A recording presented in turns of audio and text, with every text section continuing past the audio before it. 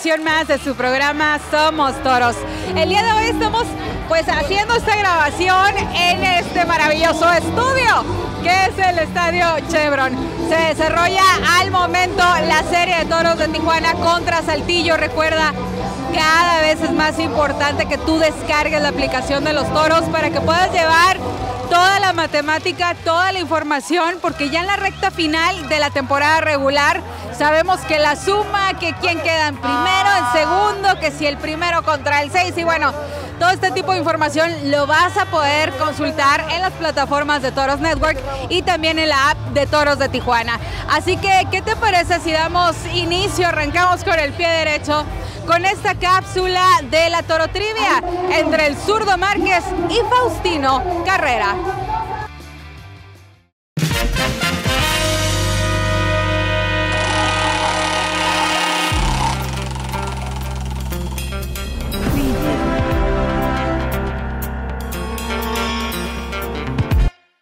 ¿Qué tal amigos? Buenas tardes, estamos de regreso con la Toro Tibia. Por aquí ya pasó Jack Mayfield, por aquí ya pasó Anthony Herrera, el Chevale, Dante Lugo. Hoy dos caballones de la rotación. Uno a mi mano derecha, Faustino Carrera, y a mi mano izquierda un baluarte en el bullpen, Luis Márquez. Primera pregunta, me va a ayudar producción a ver quién es el primero que le aplasta ahí. ¿eh?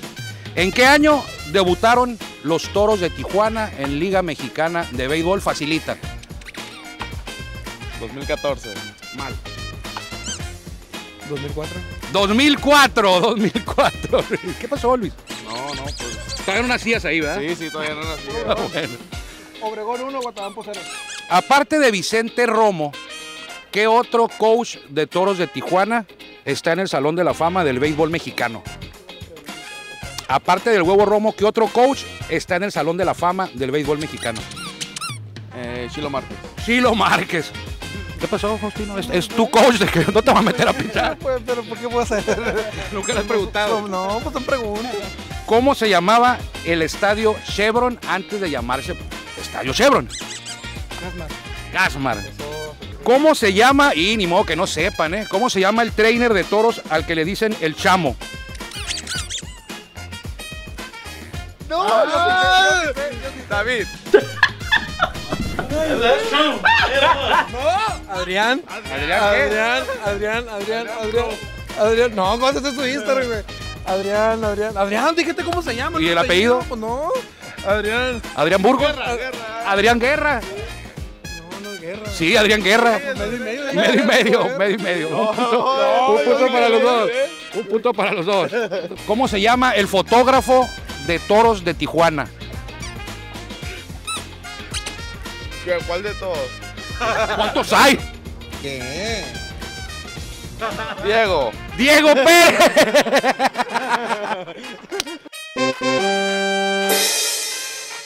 Pásale, Diego. Aquí se llama Diego Pérez el fotógrafo. Tantas fotos que le pides. yo sé, discúlpeme, por favor. Es una presión. Esto fue la Torotrivia y ganó Luis Márquez. Avanza a la siguiente ronda que será la próxima semana. Gracias, compañeros Faustino Carrera y Luis Márquez. No, apenas avanzaron de ronda. Apenas avanzaron de ronda. ¿Qué premio le damos, producción? eh? ¿Qué premio le damos? Ah, un aguachile. Jorge anda pichando aguachiles. Un bolletito para los, para los tiguedogos. Pero avanzas a la siguiente ronda. Felicidades, Luis. Muchas gracias. ¿Cómo, ¿Cómo sentiste la, la Torotrivia? No, muy, muy emocionante, poquita presión, pero se siente más presión que estar en la loma. Ah, bueno. Vámonos. Gracias, Faustino. Perdí, ni modo, ¿qué voy a hacer? Ya, para la otra. Se te fue la racha sin permitir carrera. Valió, no podemos hacer nada. Nos vemos, muchas gracias.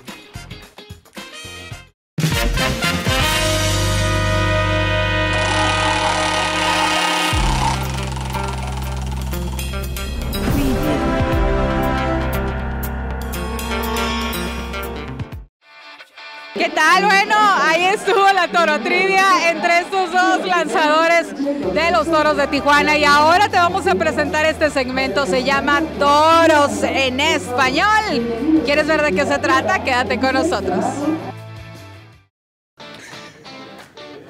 Pásanos por lo que estabas pensando en el turno contra Henry Urrutia, que llegas abajo en la cuenta, tres sin nada. ¿Qué estaba pasando por tu mente ahí? Sí, igualmente. Next. lighter. Mayfield, you next. Ah, Mayfield, ven, ven, ven, Mayfield. Mayfield es el Tejano. Tejano, Mayfield, Mayfield, por favor. Mayfield, por favor. Necesito tu uh, responder de, de people. Uh, tú es un uh, power hitter. No, no, power no. Línea. Muy, Puro línea. mucho power uh, at a shortstop por, para ti. Um, ¿Cuántos home runs en en regular uh, temporada? Huh? Aquí, Ar- ahorita. nueve.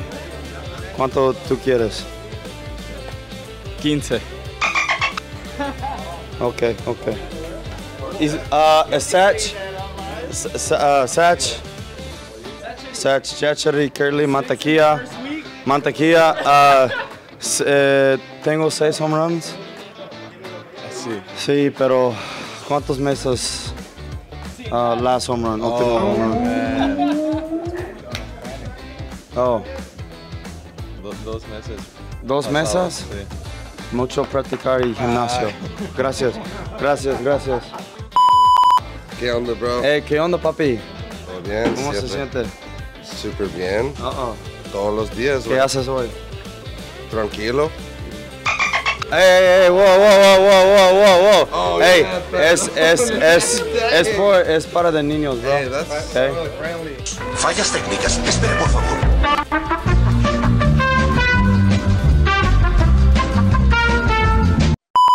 Oh, es Factor X. What español, Hey, bro? sí, gracias. Mucho español, pero Okay. uh, I don't like to speak it. ¿Por qué no? Es, You're es too, es too easy. No, sí, yo sé, yo sé, pero es too, it's too easy.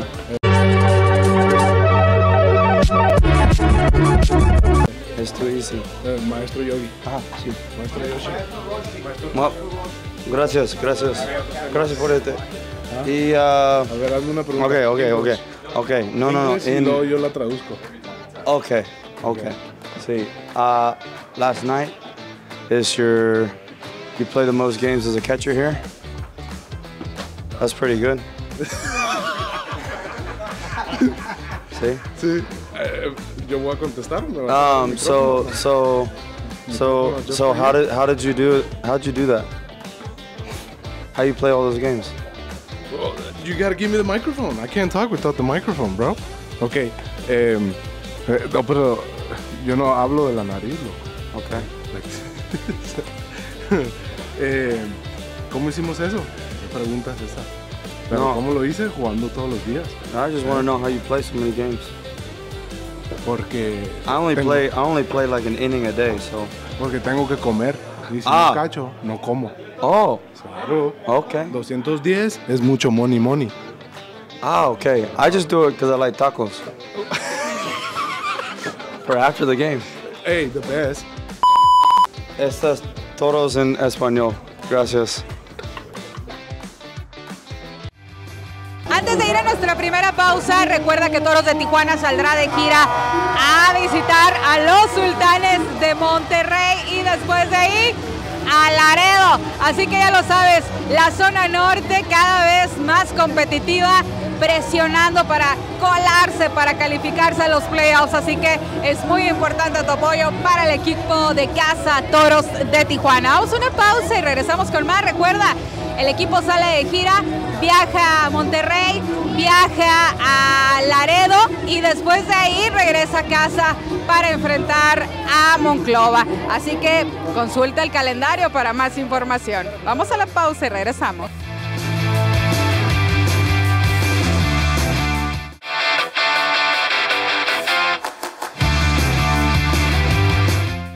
Por continuar con nosotros y durante la serie de Toros de Tijuana contra Zarapero de Saltillo eh, sucedió un momento muy emotivo cuando Jorge Carrillo se convirtió en el receptor con más juegos cachados para la franquicia de Toros de Tijuana. Esto tiene un doble mérito al ser Jorge Carrillo un tijuanense, así que el orgullo de la colonia obrera habló para los micrófonos de Toros Network.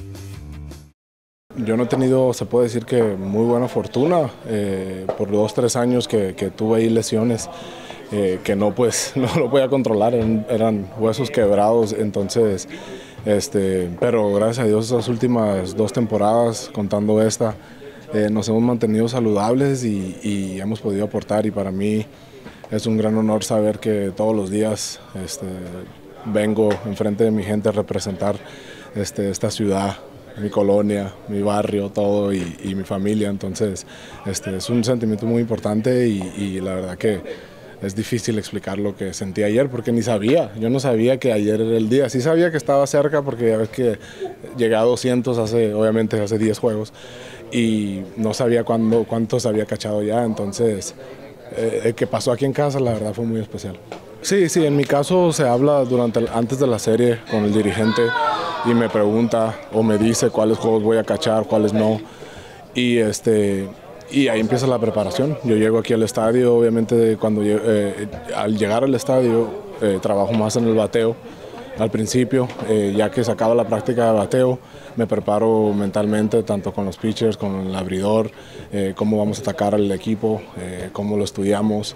Este, luego nos vamos a lo físico, me preparo, me estrecho, me, me caliento para, para, para el juego y pues ya en el juego ya uno se va con, con lo que ha hecho más de 200 veces. Exacto, yo creo que a veces es muchas, eh, por eso a veces me preguntan que, que cuál es la mejor parte de mí, pues gracias a Dios se sabe que lo mío es ahí atrás, como yo manejo todo, entonces, y eso es estudiado, es trabajado y- y- y más que nada es eso, es ver los ajustes, cuándo hacerlos, cuándo no, cuándo te tienes que salir del plan de ataque.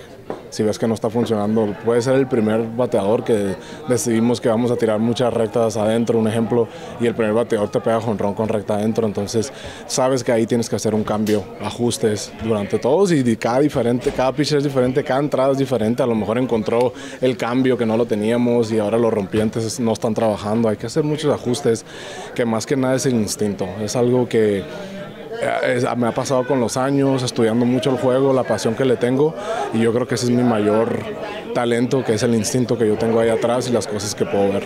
Mi, mi manera de hacerlo es como mi papá me regañaba a mí, ¿me entiendes? Yo le digo, yo dejo de hacerlo, yo cuando quiero un picho lo quiero, lo tiro dos veces, si me lo shakea dos veces, ya lo dejo a él lo que él quiere. Si funciona, bien, estabas bien. Si no funciona, ya dejo que él venga y se disculpe y sabes, sabes que eso es lo que diga, pero se aprendió, entonces ya después la próxima, próxima salida, él ya confía más en mí y, y- y ya esas decisiones las confía conmigo y, y- pueden suceder mejores cosas porque al final de cuentas él está allá y tiene mucho adrenalina, a veces no piensan bien porque pues tienen que estar, ¿me entiendes?, todo el tiempo tirando y yo soy el que, el que los puedo calmar y pueden confiar en mí, entonces este, cuando ya yo gano esa confianza, este, yo creo que los resultados llegan mejor. Muchísimas felicidades para Jorge Carrillo por lograr y seguir acumulando, seguir escalando en ese número histórico para la organización de los Toros de Tijuana. Y una entrevista muy importante fue la que consiguió, eh, bueno, nuestros compañeros con Pedro Strop. Él nos habla acerca de la importancia del bullpen de Toros de Tijuana para conseguir esas victorias. Bueno, creo que eh, hubiésemos hablado un poquito al respecto anteriormente. Este, yo entiendo de que, eh, vuelvo repito, una liga donde tienen mucha información tuya y tú no tienes mucha de ellos, pues obviamente yo voy subiendo la, la loma. Este, muy competitiva, no se puede eh, echarle menos eso. Este, Aquí creo que hay muchas personas equivocadas con la Liga de México, este, el nivel competitivo, las experiencias que han cogido los, jóvenes y veteranos de la liga eh, son muy competitivos en el home play y yo, y yo eso es una de las cosas que admiro, de que por lo menos me siento que estoy pichando a un buen nivel de béisbol. Bueno, yo siento que, que la, adrenalina, la, la, droga de- de ganar, eh, porque es adictivo, ganar es adictivo y ya después que yo, que tú pruebas ese sabor tan rico de lo que es ganar, tú quieres volver a sentir y tú sientes que tú puedes volver a hacerlo, entonces ya yo después de ser partícipe de Serie Mundial, de Clásico Mundial, de eh, Liga Invernal también fui campeón, todas esa, esa, esas experiencias, pues yo siento que todavía puedo aportar a un equipo para, para poder eh, volver a sentir esa, esa sensación tan, tan, tan hermosa y tan rica que se siente. Entonces yo creo que eso es una de las principales eh, cosas que me hacen salir al terreno con, con- con esa energía, con esas ganas y yo, yo, como yo siempre digo, hasta que yo siga sintiendo esa mariposita y esa presioncita cuando voy caminando para ese montículo, pues no me pienso retirar hasta que sienta eso. Ahora, cuando yo deje de sentir eso, que yo no me, no, no, no me esté divirtiendo en el juego, pues entonces ya ahí ya vemos qué, qué- pasa. Pero por el momento no está en mi plan de retirarme. Este, y siento la misma gana de ganar que, que como el día uno cuando empecé a jugar. Bueno, para serte sincero, el nivel de béisbol que hemos venido jugando, eh, yo, lo, yo lo he sentido como nivel playoff, porque no descanso, no, no, o sea, no descanso, todos los días listo para la pelea, pichando, perdiendo por, por la mínima de 3, de 2, de 1, ganando por 5, 6 o 7. O sea, no es el rol regular de, de, de- un cero men o un cerrador. Normalmente es empate o ganando, pero eh, sentir esa, todas esas apariciones en esas situaciones, el cual a mí no me importa que quede claro, yo a mí lo que me, me encanta, fascino, amo lanzar, pues eh, se siente como, como un nivel de, de playoff. Eh, los equipos que hemos, que hemos jugado han sido, no han resultado muy competitivos, hasta los equipos que están en el sótano nosotros nos juegan mejor que, que a todo el mundo, o sea que ya se siente, se siente, se ha venido sintiendo por varias semanas, varias semanas. Y yo espero de que eh, los playoffs va a ser lo mismo, lo único que entiendo de que va a ser un poquito más cómodo porque vamos a tener un poquito más de día libre, que jugamos dos juegos, un día libre, jugamos tres, un día libre, o sea que Y el que pierda se va. eh, el que pierda se va, pues obviamente yo no, yo no estoy pensando ni siquiera en eso, yo estoy pensando en que vamos a ganar. Pero este, sí se siente ya el- la brisa, se siente el, el- el- el nivel competitivo de playoff. Momento de hacer nuestra segunda pausa, pero antes quiero que veas un poco de una de las áreas más visitadas. Aquí se dan cita los aficionados más importantes para Toros de Tijuana, que son los niños. Estamos en Torolandia, un área muy segura, muy exclusiva para los pequeños, que forma parte del Estadio Chevron. Es una zona que tiene una cubierta especial, una protección por aquello de los cuadrangulares, que sabemos que hay algunos que caen en esta zona. Hay una protección además, que bueno, juegos, actividades recreativas, manuales y demás. Y pues es cortesía de los toros de Tijuana. Vamos a la pausa y regresamos con más.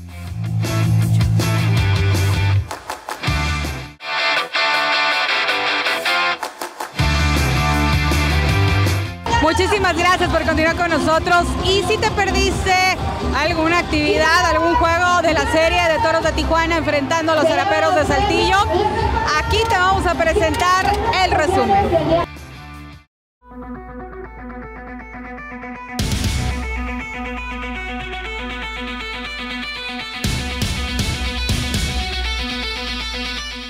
Lanzamiento y una línea con las maletas.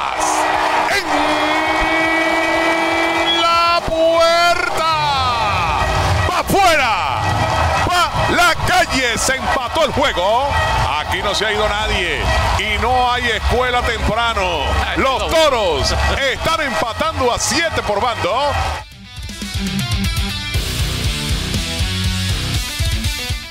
El batazo y la pelota cae al lado de la raya. Esto será un extra base. Van a tomar ventaja los zaraperos. Ya mandaron al corredor de segunda hacia el plato.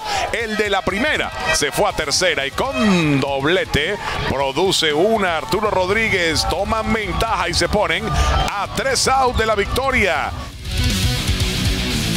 Cuenta de 0 y 2 tiene a Kirley.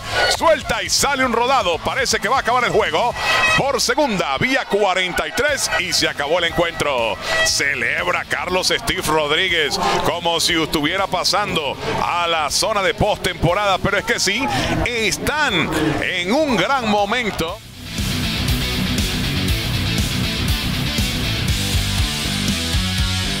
Picheo al plato, rola el pitcher, no. Isaac perdió la bola. Y la pelota se va al jardín central. El tiro va para tercera. En tercera quieto el hombre. Anota dos zaraperos con este rodado que pasó por el medio y que le da ventaja al equipo de Saltillo. Cosas increíbles ocurren aquí con este rodado que pintaba para hacer una jugada de doble mate. Lanzamiento y la pelota para atrás con las maletas. En la puerta. Va afuera. Va la calle. Regresó el niño. Eh, estaba de parranda y se apareció en casa. Buenas tardes si no me han visto. Se emparejó el juego. Ocho carreras por bando. Lanzamiento y una línea también para atrás con las maletas. En la puerta. Va afuera. Va la calle que lanza duro. También se lo regresan duro y termina detrás del toro grill. Los toros con par de cuadrangulares espalda con espalda.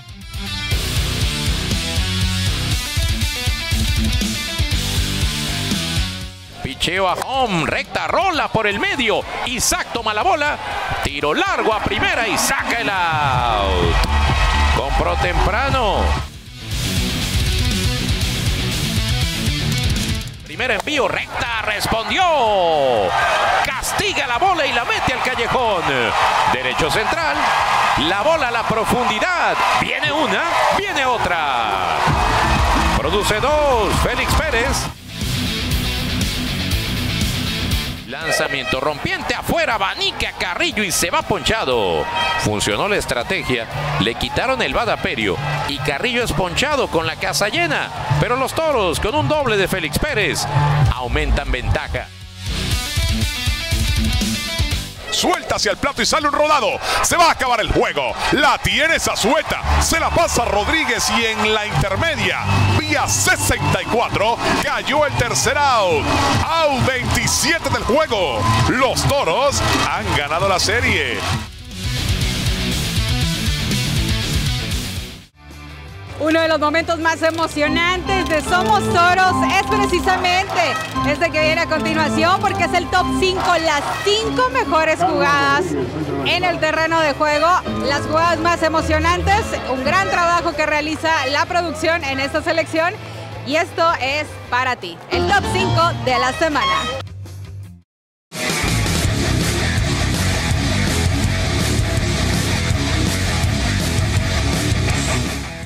Hay un batazo elevado y la pelota la está buscando Félix Pérez para atrás. Le va a llegar a la pelota al lado de la barda.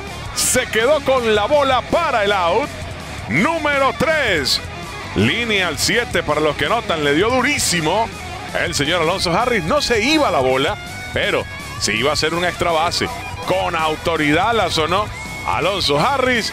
Mejor la cobertura de Félix Pérez que vean ustedes ahí.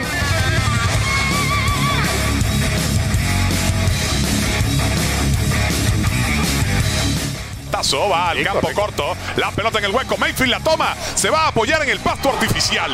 Y así consigue el out. Por la vía 6-3. Otra bonita jugada. Otra jugada de out. Y otro retirado de Pirela, doctor.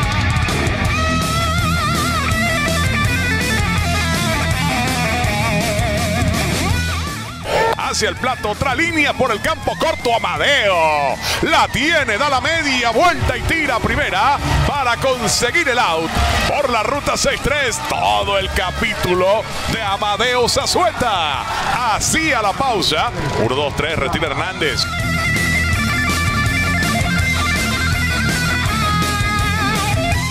Lanzamiento y sale un rodado. El tercera base se tira. Kirly la tiene. Suelta largo a la inicial. Y por la 53 han sacado en primera Gaywood. Una de las que hace. Ahora recibe, aunque los tecolotes no están muy convencidos. Consideran que esta jugada la pueden ganar en la revisión. Veremos si así es. Pero lo, lo que sí tenemos que destacar es el jugadón de Kirly.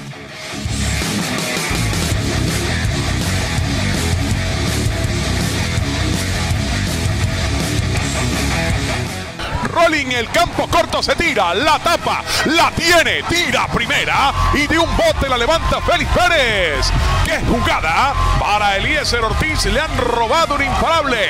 Para Zazueta, apúntamela por favor. sin duda.